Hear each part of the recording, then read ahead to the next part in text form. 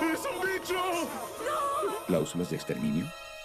Un bicho tarda 20 minutos en completar exitosamente su transformación. ¿En dónde se delinea el límite?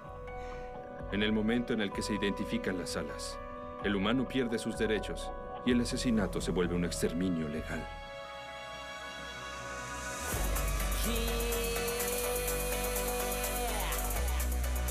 La persiguieron unos bichos. Su padre está muerto.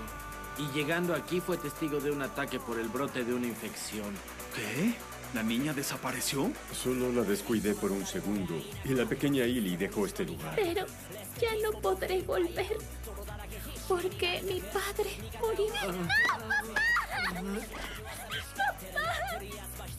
Salir huyendo no cambiará el hecho de estar solo. Pasaron 30 años desde la aparición de los bichos. Por fin ha llegado el día en que superaremos a esos insectos.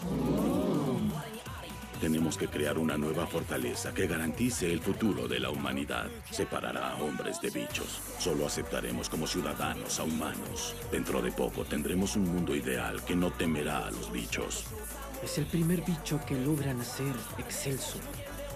Los bichos son una evolución de los humanos y crearán su propio mundo. Eres un desgraciado, pero también una presa digna. Por favor. Illy, por favor.